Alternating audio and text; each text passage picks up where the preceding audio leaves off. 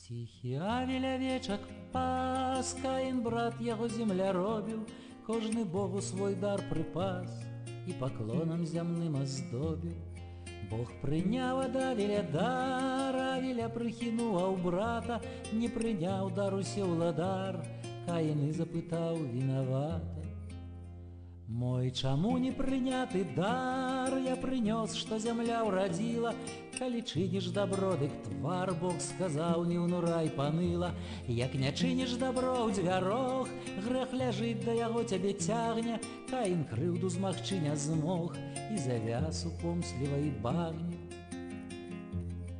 Цёплым полем браты ішлі, ляжаў там закляты камень, Каін камень падняў з зямлі і забіў свайго брата Каін.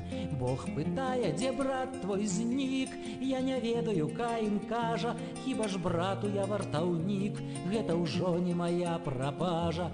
Бог сказаў, чую голас крыві, што з зямлі да мяне гукае, валацугай цяпер жыві і выгнаннікам з неба краю.